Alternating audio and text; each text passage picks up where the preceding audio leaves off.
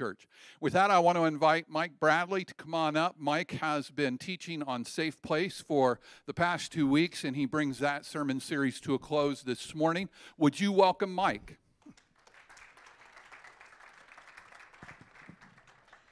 Thank you, thank you, thank you. Good morning, everybody. Grace to you and peace from God the Father, Son, and Holy Spirit. Amen. So, we've been talking about what it could mean to be a safe place as an individual or a life together group, as we are just looking at, and as a congregation the last couple of weeks. I want to say quickly Debbie and I, just this morning, sitting there with our phones on the Wonderful Mercy app, signed up to attend your Life Together group, Graeme. And I heard a word from the Lord. And that word is that those who attend Graeme's Life Together group your favorite football team will win every game the rest of the year. Except for the Green Bay Packers.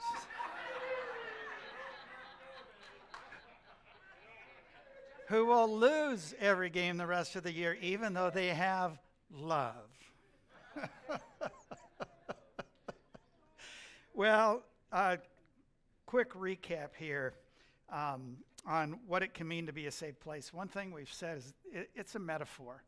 Uh, you're not going to find a, a, verse in Scripture, that, thus saith the, the Lord, a safe place is such and such. But that, that phrase, that metaphor, captures what it can mean to learn from the life of Jesus how to relate to other people so they have the opportunity to be impacted by God's love and by God's power.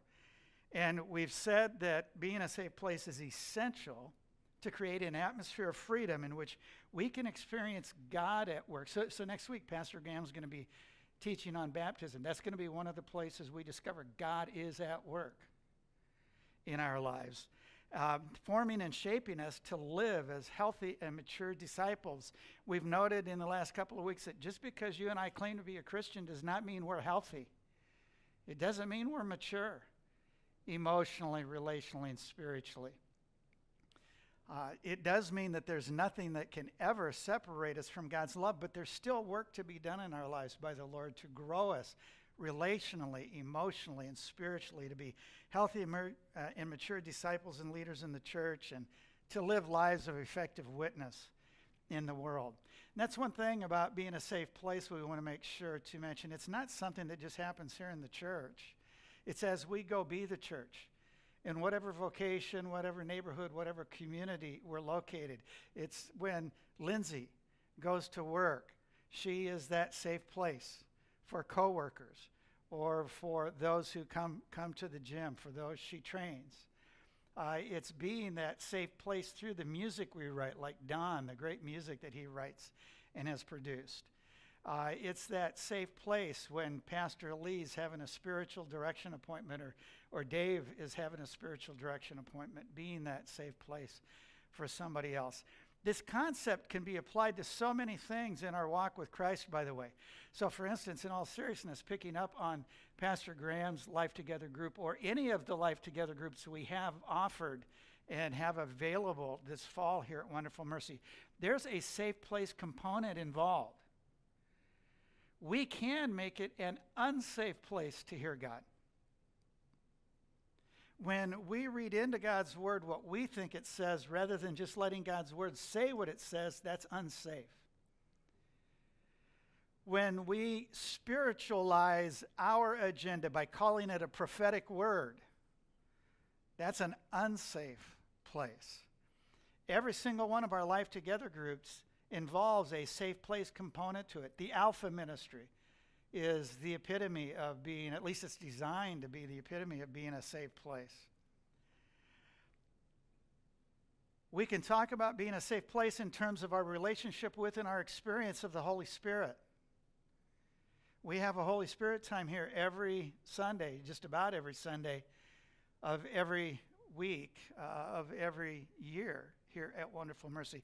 One of the reasons I think we can do that is because Pastor Graeme and Dirk and Lee and Lindsay and others have really worked to train and equip us in what it means to be a safe place for a relationship with the Holy Spirit. They've put healthy boundaries and equipped us in healthy boundaries that can give us the freedom to dare to have a Holy Spirit time.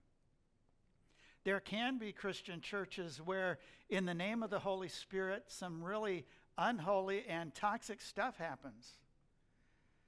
Because to be unsafe is to spiritualize and justify our misbehavior. That's, that's one way we can be a, actually an unsafe people. So, this being a safe place, it, it can be applied to being a parent, it can be applied to being a spouse, it can be applied to being a grandparent.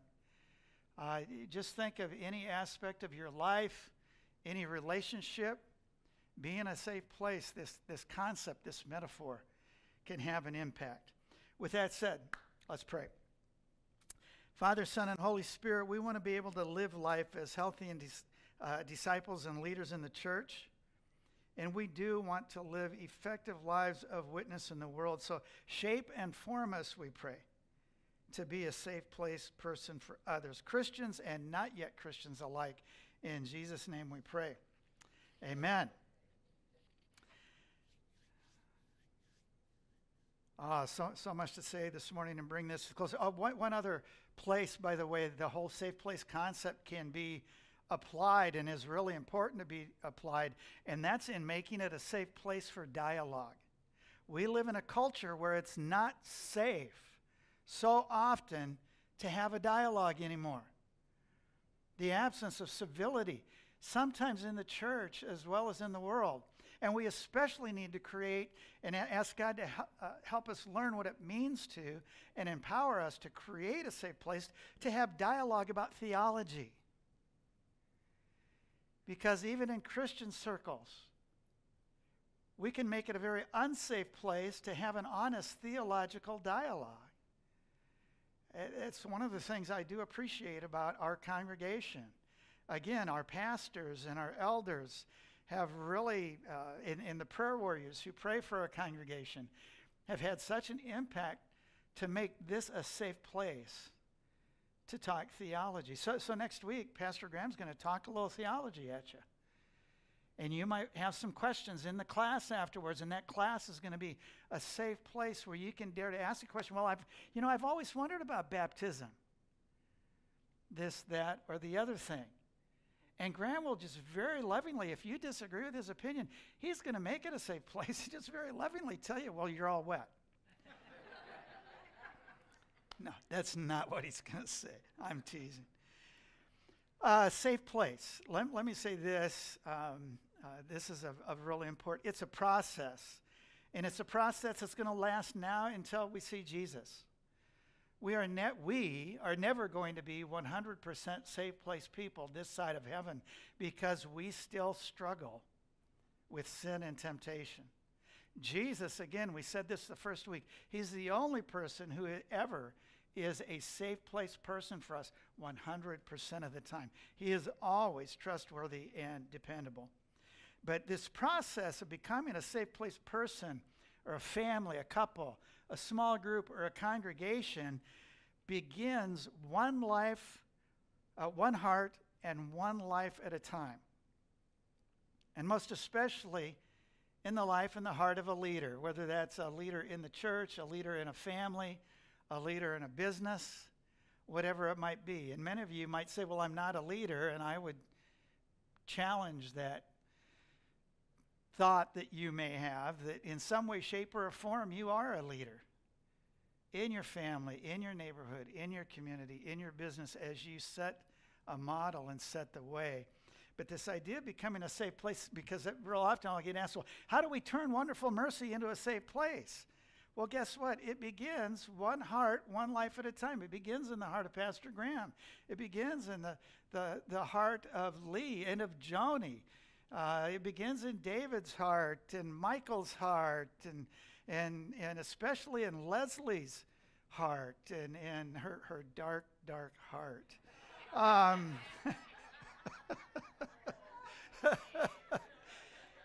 in my, actually, my dark, dark heart. there we got it right. And as God is at work transforming and setting you and I free in our hearts, it gets caught by other people. Most often, this process, by the way, happens in small incremental steps, not in one big, huge, wow, I had a, a burning bush moment with the Lord, although that can happen. It begins in small incremental steps, and, and God is often at work using different instruments. The norm for the Lord is that He uses word and sacrament. Jesus, the living word, and his written word, the Bible, and the sacraments, baptism and communion. We'll talk about those in a little bit. But he also uses other instruments. For instance, um, uh, going down this list that I have on the screen, he uses prayer. He works through prayer. He works through reading God's word for relationship, not just work product. Receiving the sacraments, confession and absolution, life together relationships with those who are safe place people, habits of grace, silence and solitude, spiritual direction, counseling and therapy, and sovereign God encounters. Well, let's talk about each of these just a little bit. Each of these could be worthy of, of a whole Sunday message of their own, but let's talk a little bit about each one quickly. First of all, Scripture, uh, talking about prayer to the Lord, Scripture reveals that God does answer prayer. He answers our prayers in His work of shaping and forming us to become more and more those safe place people for others. And one example of a prayer that we can pray is simply the prayer of King David in Psalm 139, verses 23 and 24. David prays, Search me, O God, and know my heart. Test me and know my anxious thoughts. Point out anything in me that offends you Wow, that, that's pretty courageous. Point out anything in me that offends you and lead me along the path of everlasting life. Now, this is a prayer that I believe God loves to answer way more than we love to pray it. And I believe the reason he loves to answer this prayer for you and I, if we dare to pray this prayer, is because, as we've been told so often in our congregation, but we want to continue to declare this, we want to continue to remember this, that our Father in heaven is a good, good Father who is determined to be good to us. I don't think we can say that enough. I don't think we can underscore that truth enough. We have a good, good Father in heaven, and He is determined to be good to you and I, especially in those moments when we know why He shouldn't be. And because of that, He loves to answer that prayer. If we humble ourselves before Him and, and, and say something like, Lord, I really do want to be more of a safe place for my spouse, my friends, my coworkers, uh, whomever it might be that, that you're in relationship with, please show me where I'm not safe. I believe he'll answer that prayer, but he will, he will not answer that prayer to punish you or shame you. He will answer that prayer because he's our good, good Father in heaven and he's for us and he's against anything that would harm us or hinder us. So let's pray. Let's dare to pray that prayer of David. And then let's listen and let's watch for how God may answer that prayer for us. Secondly, reading God's word for relationship, not just work product. Jesus, the living word, works in and through the written word very often, and the power of the Holy Spirit to shape and form you and I to be more of that safe place who, like Him, is full of grace and truth. However, it's important, I think, to make a distinction between meeting with God in His Word for work product versus meeting in there for relationship. Too often, we can tend to approach God's Word as well. I've got to get ready for a sermon. I've got, I've got to get ready to lead a life together group. I've got to get ready to lead a Bible study. I've got to have my morning devotion so I can check it off my list of things to do for the day. Rather, I want to suggest that we approach God's Word, we approach Jesus, the living Word, and we approach the Bible, the written Word, as a meeting place. It's a place where I can go and I can hang out with the Lord and I can get to know Him and He can, he can further get to know me and show me who I am even to myself. As we do this, as we approach it as a meeting place, I, I believe we can expect, first of all, to be reminded from time to time, maybe often, we are his deeply, deeply, deeply loved daughters and sons of God. You know, there's a, a theology in the church, and, and I think it's true and I think it's fact, and especially in Lutheran churches, one of the, uh, uh, in, in, Lutheran churches, because of uh, an association that I happen to lead, is, is uh, uh, an association of about a thousand Lutheran churches in 16 different countries. So I bump up against Lutheran theology from the time to time. And part of that Lutheran theology, Christian theology actually, is that we are at the same time sinner saint. We struggle with temptation and sin this side of heaven, but we are saints. And it's easy for me, and I think it's easier for a lot of people, to major on the sinner side. We are despicable. We are wretched. Uh, uh, we're, we're terrible. It's harder to believe and to understand the saint side. We are God's deeply loved daughters and sons. As we come to His Word as a meeting place, I think He'll remind us of that time and time again. Uh, as we'll probably experience in Pastor Graeme's uh, Life Together group, we'll hear His word of guidance for us and direction and revelation for our lives. We'll receive His gift of being convicted of sin and receive His gift of forgiveness for that sin. All of this and more as we come to God's Word for relationship rather than work product alone. Let me uh, go to not the only the next slide, let's go to that, and then we're going to skip one. Go ahead to the next slide, and then one more. Just read this one passage. One of the reasons I, I approach God's Word with so much confidence and so much hope is what we're told in Isaiah chapter 55 the rain and snow come down from heaven, the heavens, and stay on the ground to water the earth. They cause the grain to grow, producing seed for the farmer and bread for the hungry. It's the same with my word. I send it out, and it always produces fruit. It will accomplish. That, that word will is really important there. It doesn't say it might.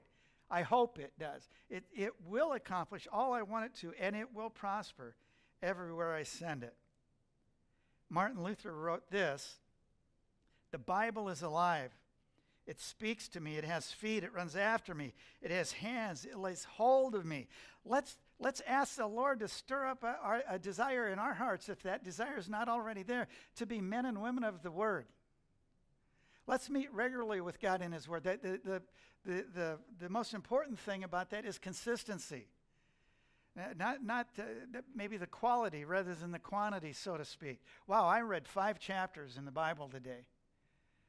Now, I, I haven't read it for two months since, but, you know, no, let's consistently, let's meet the Lord in His Word and let's experience His Word laying hold of us. Another instrument that God is at work in our lives to, to shape and form us to be that safe place people we want to be is as we receive the sacraments. The sacraments of baptism and the Lord's Supper. Now, there's something really simple and really refreshing about the fact that the sacraments are really not a whole lot more than a bath and a meal. God made it really simple for us, made it really simple for me. Take a bath, and have a meal. And, and in this bath, Pastor Graeme's going to talk about it next week. He's going to take us to God's Word. There's going to be the class after. We're going to be talking about baptism. And one of the things that we're going to find out in one uh, way, shape, or form is, is the thought that baptism is not merely a symbol. Now, there are some Christian churches that preach and teach that. With all due respect, I disagree with that. I think the Bible says that when, when we baptize people in the name of the Father, and Son, and the Holy Spirit, that God is at work, God's active, God's doing something. In, in Romans chapter 6, it says that he's uniting us to the life, death, and resurrection of Jesus Christ. It doesn't say this is a picture of being united to the life, death, and resurrection of Jesus. And sometimes we'll say, but, but I didn't have anything to do with it. You didn't, and I didn't have a whole lot to do with being born either, did we? But it happened. Something happens for us in baptism. Something happens for us when we come to the Lord's table, as we do so often here at Wonderful Mercy. God can be at work, sometimes whether you and I even realize it or not, shaping and forming us to be healthier and more, more mature followers of Jesus as we consistently receive the sacraments in faith. Confession and absolution is another tool that God works. And th- this is one I think that, that we as Protestants, we kind of threw the baby out with the bathwater during the Protestant Reformation. Well, we're not going to be Catholic. We're going to get rid of all that Catholic stuff. And we got rid of, although Luther didn't, by the way, we got rid of confession and absolution. And in confession and absolution, God is at work in your life and mine, shaping and forming us to be healthy and more mature followers of Jesus. God's word says, if we confess our sins, he is faithful and just to forgive us our sins and to cleanse us from all unrighteousness. It can be in this confession of sins that an individual, myself for instance, get to hear and receive forgiveness from God as it's declared through the voice in a life of another. There's something powerful about, about hearing somebody else say, In the name of the Father and the Son and the Holy Spirit, all your sins are forgiven. And it, it can happen here on a, on a uh, Sunday morning up front here, or it can happen as we go to confession. One of the things I'm encouraging all the pastors in my association, so we've got almost a thousand congregations. We have thousands of pastors, lay and ordained. And I'm asking them this question these days Who's your pastor? And who's your confessor? Who's your pastor? And who's your confessor? Who you can confess that thing that's just hanging on to you, that, that thorn in the flesh that you just can't get rid of. Who is it you can confess that to and you can hear them say, All your sins are forgiven in the name of the Father and the Son and the Holy Spirit. There's something powerful about that, something in the Spirit that can break the power of it, whatever it is that's had a hold over you and I.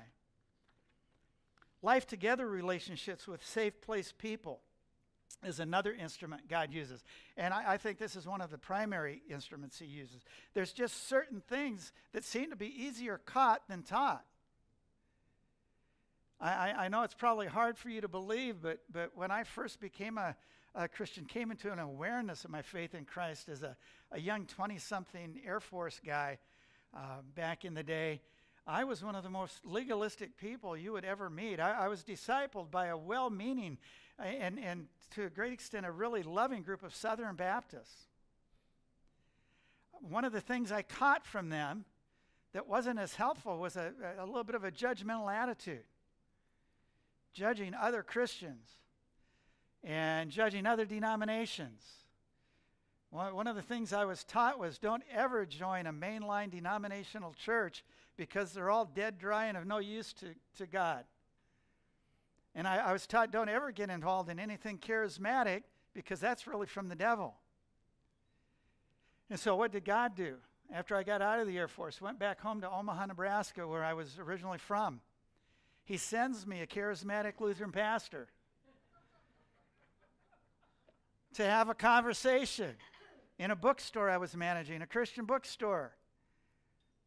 And, and he comes in and he, he tells me he's a Lutheran charismatic pastor and he wants to know if I'll start carrying books. This was back in the 1970s, so there was no internet, there was no Amazon. You actually had to go to a bookstore to get your books. And would, would I start carrying books by, by guys named Kenneth Hagin and Kenneth Copeland and Derek Prince, names some of you may not recognize, but they were all Assembly of God Pentecostal writers. And they wrote about the Holy Spirit, they wrote about healing, they wrote about casting out demons. And I asked this Lutheran charismatic pastor who looked a little bit like Friar Tuck to me. And I asked him, what, I, thought, I thought you said you're Lutheran. And he said, Well, I am. And I said, Well, what's a Lutheran pastor wanting to do with books about healing and the Holy Spirit and casting out demons? And he said, Well, I'm a Lutheran charismatic. And I said out loud to him, You can't be that. I don't know if you knew that, Graeme. You can't be that. Pastor Lee, you can't, and Dirk, you especially can't be that. And Anyway, he said, Really? And I said, Yeah, really. And he said, Would you like to talk about that? I said, I'd love to talk about it. He said, uh, Do you like coffee? I said, I love coffee. And he said, Well, let's start meeting over coffee. Bring your Bible. And I brought my Bible and we began looking in the Word of God. And the Lord began to open my eyes to the reality and power of the Holy Spirit. And then one day I made the mistake of asking him, Pastor Al, what's Lutheran? What's that mean? And he said, Well, more coffee. And we met for more coffee, and he started taking me to scriptures Romans 6, Ephesians 2, 8, 8 uh, 2 1 through 4, Ephesians 2, 8, and 9, various passages in Galatians. And I said, Well, is this what it means to be Lutheran? He said, Yeah. And I said, Well, this is just good scripture. And he said, Well, at its best, the Lutheran church is a, is a church of the word. We're not always at our best, but at our best, we are. And along the way, God confirmed all of this to me because it turned out he had a really cute daughter and I ended up marrying her. He was one of the first safe place people before I even knew that term that I got to hang out with, and I caught stuff from him. I've caught stuff from my mentor, Pastor Joe Johnson, for years and years. I've caught stuff from hanging out with the pastors of our church. I've caught stuff from, from David Hammerslag. I've caught stuff from others of you here, and you don't even realize it. I have not caught the Packers yet, Sharon, but there are good things about you that I would, I would love to catch. Dr. Larry Crabb writes this about safe place people. What do, we, what do we believe about each other, not only when we're on our best behavior, but when we're irritating and demanding? As I uncover what's bad within me, a safe place friend stays relaxed. He or she sees something else. I know of little else so powerful as confessing wretched failure and having a friend look on you with great delight. The safety necessary to own my badness comes when someone believes that I'm in Christ and that He's in me. Does that sound familiar as we went through the prologue to John for so many weeks? I'm in Christ and He's in me. Then anything can be faced without fear of being discarded. Boy, to have a friend like that, that can give you and I courage to be willing to be appropriately vulnerable, appropriately, appropriately transparent, to give voice to it, whatever it is in our life that's weighing us down and holding us captive. We catch stuff by hanging out with other people who are a safe place in our lives. For the sake of time, I'm going to just really scoot through the next few uh, too quickly, but uh, the next one is habits of grace. Uh, historically, these been, have been known as the spiritual disciplines. But some people get hung up on the word discipline. Hung up in this sense, they think, I've got to work hard in order to be. I've got to do this discipline so that I can be. But one of the things about the habits of grace is that they teach us that we're already fully justified in Jesus Christ, and we don't have to do these disciplines. We don't have to do these habits in order to be, but we do them because we already are. Followers of Jesus don't need to do in order to be loved and to belong. You're already loved and you already belong. You don't have to do in order to be forgiven and accepted. You don't have to do, you don't have to perform, you don't have to, to practice these disciplines of the Spirit to be persons of great value and significance. Rather, followers of Jesus do, we do, because we already are. We're already loved. We already belong. One of the things about a safe place people, by the way, if we catch this from Jesus, is there's not going to be anything about you that's going to scare us away from loving you. Just think about that. The one who knows us the most is never scared away from loving us. We don't have to do in order to be forgiven and accepted. We already are. And we don't have to do in order to be persons of great value. We already are. And we know we've been created on purpose, for a purpose. Now, some of the habits of grace, which would be a great um, sermon series, Life Together group, retreat, whatever it might be, have historically included some things like Bible reading, memorization, and meditation. So, Lectio Divina, will be one of those historic practices that we'll be looking at on Monday nights for those who attend and all their teams win the rest of their games this year. Uh, prayer and fasting, worship in community, silence and solitude, Sabbath and rest, confession and forgiveness, serving and generosity. These habits of grace are ways that God works in and through the power of the Spirit to shape and form you and I to become healthier, more mature emotionally, relationally, and spiritually, which in turn increases our capacity to be that safe place person. An- another tool, one of the habits of grace historically, has been spiritual direction. Meeting with someone who's called a spiritual director. And th- this is a little bit of a misnomer because the person you meet with, uh, for me, it's Pastor Lee, uh, David Hammerslag, also in our congregation, is a trained spiritual director. Danny Mullins, who many of you know, is a trained spiritual director. He or she is not the director, the director is the Holy Spirit. Uh, perhaps, I don't know if this is fair to say, but the, the role that David, uh, uh Danny, Lee, I think uh, um, uh, Autumn Bruick also is trained in this. Uh, they're the facilitator. As the Holy Spirit's the director. And one, one man, one author has said this about spiritual direction. Uh, he's defined it as help given by one Christian to another, which enables that person to pay attention to God's personal communication to him or her. To respond to this personally, communicating God, uh, commu- uh, personally communicating God, to grow in intimacy with God, and to live out the consequences of that relationship.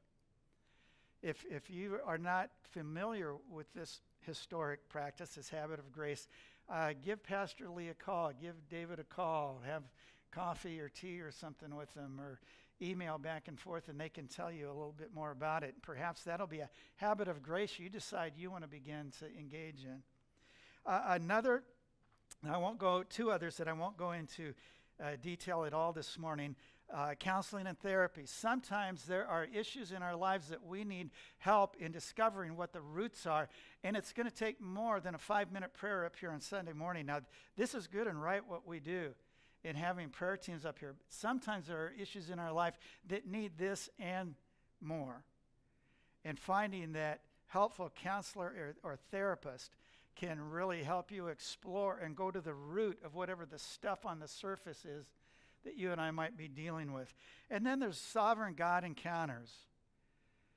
Sometimes God just does do a burning bush thing with us. And this, this happened for me one year in Chicago, uh, which is a story way too long to tell this morning. But I, I came home to the point that Deb came to me at, at one point. We were living in Rapid City, South Dakota at the time, and asked me, Well, what's been going on with you lately? And, and I, I wondered, What do you mean? And, and this particular issue that you've struggled with for a long time. I haven't seen that in your life for months.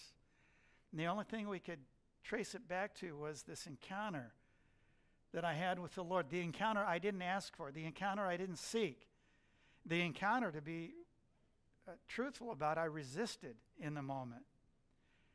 But the Lord just decided, I'm going to do this and it had an impact on my life. These instruments and more, God can be at work in your life and mine, shaping and forming us to be increasingly that safe place person, that life together group, that congregation we want to be. And I have to underscore, y'all, this is God's work. Don't try to make it your work or my work.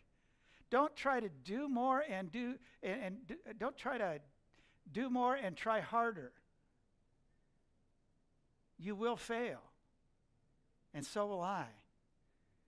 But let's avail ourselves of these places where we can meet with and we can be with the Lord and He can work in and through them. So, where do we go from here? We go to watch the Packer game. First of all, I know Sharon's saying, Come on, Mike, get done. They started at 10 o'clock. So, um, where do we go from here? One of the things I'd encourage you is just pray. Just pray and dare, dare to say, Lord, have I have I been a safe place person for others? Is there any place I've been unsafe? And then just listen and just watch what he says, says to you.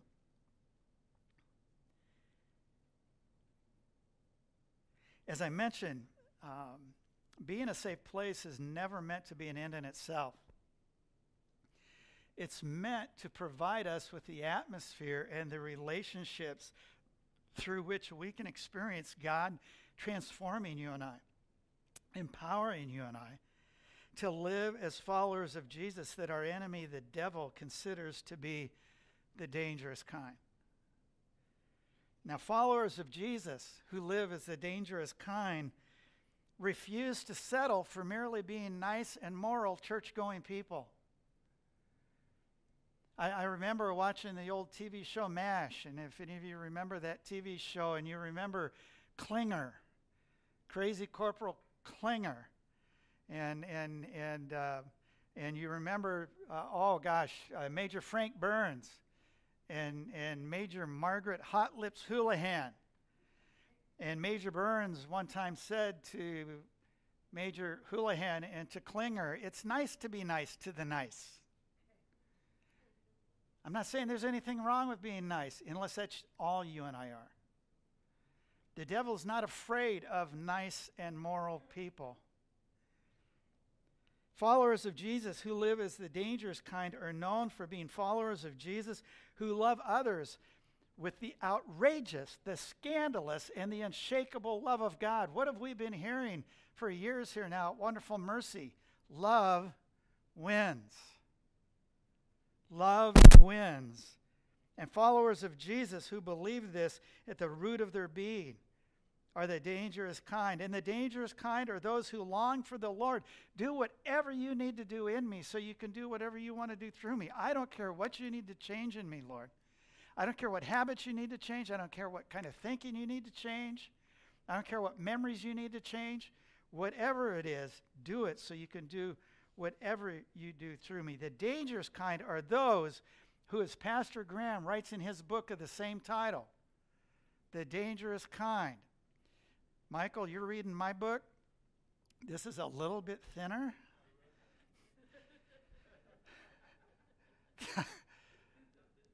the dangerous kind are those the enemy and sometimes other Christians consider us to be dangerous when we are dangerous for and to. We're dangerous for the kingdom of God and to the dominion and the plans of the evil one. In order to become the dangerous kind, we need a safe place. Amen. Pastor Lee.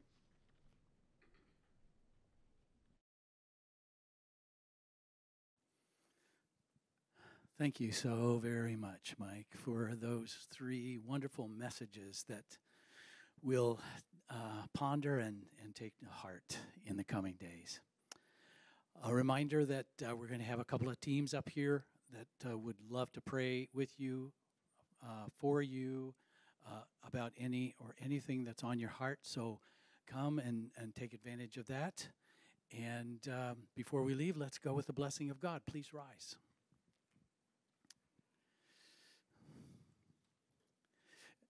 As we go, May we go with the confidence of having been called into the safe place that is a relationship with God. And may we ever, ever be confident that we are loved unconditionally. And so go with that, that in mind and go with this blessing. The Lord bless you and keep you the Lord make his face to shine on you and be gracious to you. The Lord look upon you with his favor and bring you his peace. In the name of the Father and of the Son and of the Holy Spirit. Amen.